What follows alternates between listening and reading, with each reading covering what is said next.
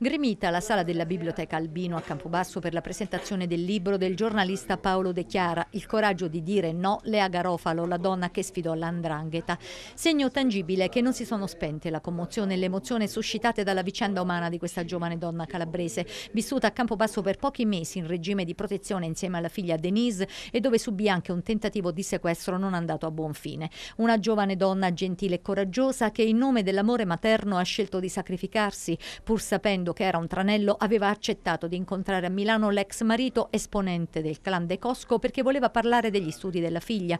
Da quell'incontro Lea non sarebbe mai più tornata a casa. Una donna forte, una donna che è morta per difendere sua figlia, una donna che ha avuto il coraggio di dire no, di non voltare la testa dall'altra parte, di denunciare gli affari sporchi, schifosi di questo clan calabrese dell'andrangheta, dell che, che, che, portava avanti questi affari schifosi, spaccio di droga, omicidi a Milano e Miale Montello, che, che ne dicono anche ex ministri dell'interno, a Milano l'andrangheta opera da 40 anni.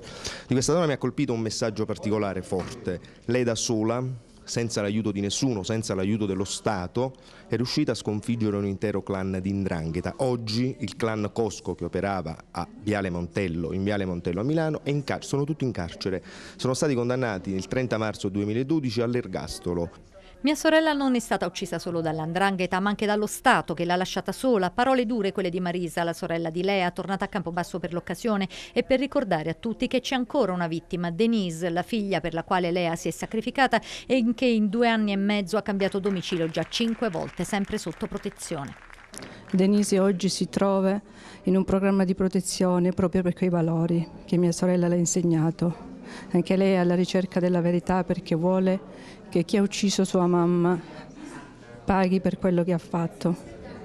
Quindi Denise ha rinunciato a essere una ragazza libera, una ragazza di vent'anni che poteva vivere liberamente come tutti i ragazzi della sua età, poteva vivere la sua giovinezza, anche perché a Denise le è stata tolta l'infanzia, le è stata tolta l'adolescenza e ora di sua decisione si è presa l'impegno di chiedere giustizia per sua mamma.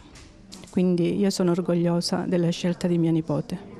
Il capoluogo regionale sta per dedicare una strada a Lea, lo ha assicurato il vice sindaco Cimino durante l'incontro. A volerlo sono tutte le centinaia di persone che hanno firmato la petizione. La richiesta verrà avanzata tramite la Commissione Cultura, seguirà una delibera comunale e poi l'ultima parola spetterà alla Prefettura.